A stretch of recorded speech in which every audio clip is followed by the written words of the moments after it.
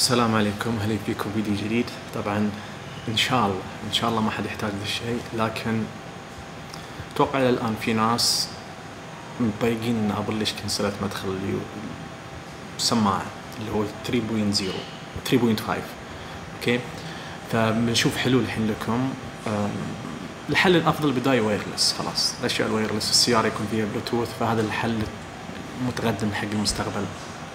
إذا سيارتك ما فيها بلوتوث فهذه الحلول الثانية تقدر توصلها طبعا البدايه الكل ذم Apple لكن الحين تقريبا جميع الشركات تحولت لحق ذا الشيء. ليش؟ كبداية. إحنا لازم نكنسل ال- ال analog المدخل ال USB أو مدخل الثندر 3.5 هذا analog. الحين كلنا راح نتحول حق ال digital. فال digital هو أفضل وفي تطور أكثر وهو ما يخترب وهو في نغاوة أفضل راح تكون. طبعا أنا عارف إن حق الألعاب واللاعبين انه يتوهق اللاعب اللي يلعب.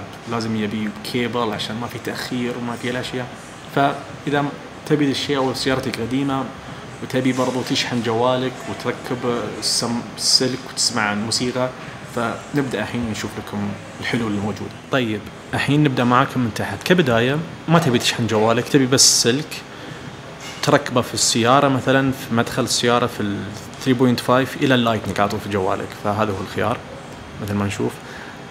كبداية كل اللي بتشوفهم الحين ما أدري والله وين ينباعون لكن هذه اللي في موقع Apple فمدعومين من Apple. إذا ركبت ذي القطع برضه يجيك واحد يقول لك شريت القطعه ما اشتغلت عندي لأن اللي شريته مب أصلية. هذه معتمدة من Apple. أنا لو أوريكم الحين من حساب Apple هذا مثل ما نشوف Apple Store. فهذا من Apple نفسه الرسمي. فمثل ما نشوف الكيبل يجيك كيبل العادي اللي نعرفه. الجهة الثانية مدخل الآيفون. فتشق على طول تشبكه في الآيفون الجهتين خلاص اشتغل عندك الصوت ينتقل عندك الصوت يعني. هذا اول خيار الخيار الثاني لا. تقول تبي تشحن. طبعا شوفوا الأسعار؟ هذا في موقع Apple ما أدري وين موجود في دول العالم. آسف آسف آسف. أعرف بيجيك أشخاص بيسالون يجيك شخص ثاني يقول لك لا أبي أبي أشحن وأركب المدخل. يعني أركب الشاحن في نفس الوقت يعني. فعندك ذي الخيار. تركبه في الايفون هنا فوق وهنا يطلع لك جهتين. هنا 3.5 الصوت وهنا تشحن. okay هذا الحل الثاني. الحل الثالث إذا كان عندك ذي القطعة اللي تجي مع الآيفون أصلا على طول جاهزة. قطعة ذي ال dongle هذا الح- الحل. طبعا كانت عندي أصلا البداية من زمان.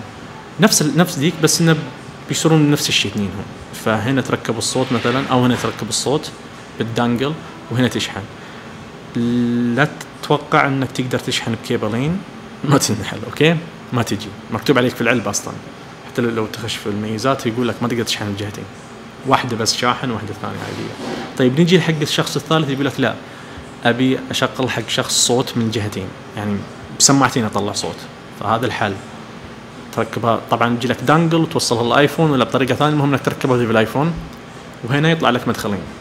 تحط سماعة والسماعه الثانية okay. هذا خلصنا من ديلي هنا ال dongle مثل ما قلت لكم. هنا اللي حق الآيفون أو قصدي الآيباد USB-C. طبعا ما بلازم تشتري ذي القطعة. USB-C ما بمالت أبل فتشتري أي قطعة من USB-C إلى ال 3.5 تقدر تستخدمها. حق الآيباد. طبعا في حلول ثانية مثل هذا الكيبل ده نفس الشيء اللي قبل شوي سويت وريتكم إياه. تقدر تركبه في السيارة هنا وهنا تركبه مدخل الشاحن. الأسعار تختلف. مثلا 29 هنا بالكند هنا تحت 35 لأن ده مال أبل. Okay؟ وبرضه هذا معتمد من أبل. ما فيهم فرق نفس النغاوة نفس كل شيء لكن هذا الف... كيف أبل؟ تحطه بالحاله وذا بالحاله هذا مال صناعتها وهذا صناعة شركة ثانية. بس تقريبا. إن شاء الله فادكم الفيديو. آسف اذا يعني تدرون إني ما بدول الخليج فلو بشتري شيء من دول الخليج راح يعني لو في السعودية أنا جالس وشريته بقول لكم من المحل.